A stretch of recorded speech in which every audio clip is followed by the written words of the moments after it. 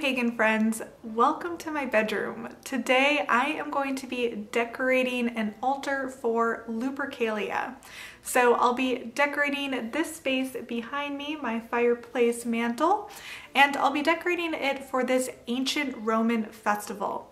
This is a festival that honored the founding of Rome and its mythical founders of Romulus and Remus, and it's a festival that is also all about love and fertility.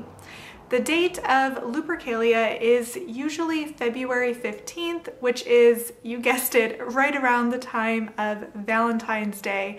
So a lot of our associations of Valentine's Day with love and relationships and fertility a lot of that actually derives from this ancient Roman pagan festival. So I'm going to be decking it out all with symbols of love and beauty.